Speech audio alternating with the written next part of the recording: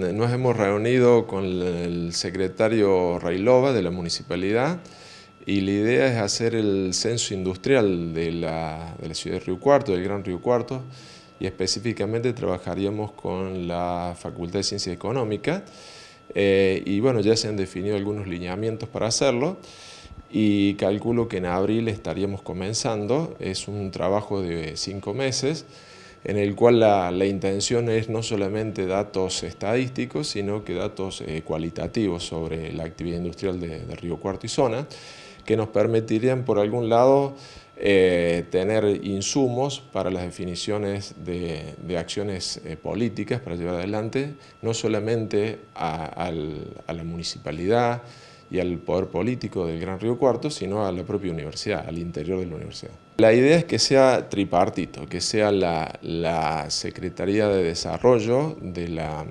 municipalidad, que esté la Secretaría de Extensión y la Facultad de Ciencias Económicas como un triángulo en el cual cada uno hará sus aportes particulares.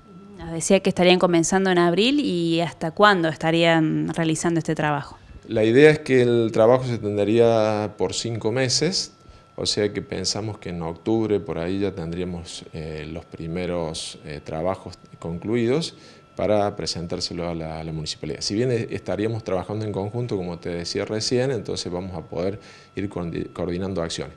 Pero la actividad concreta, la, de, la de relevamiento y todo eso estaría a cargo de la Facultad de Ciencia Económica. Y paralelamente a la realización de este censo, ¿ya están pensando en otras actividades del centro?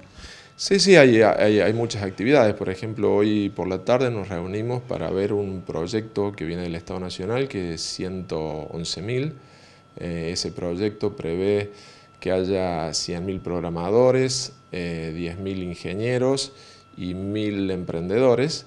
Bueno, y ahí estaríamos participando también desde el Centro de Cultura Emprendedor y con la Mesa TIC para, eh, en conjunto con eh, el clúster tecnológico, con la Cámara de Industrial Metalúrgico y con la universidad poder desarrollar ese programa y, y llevarlo adelante en conjunto.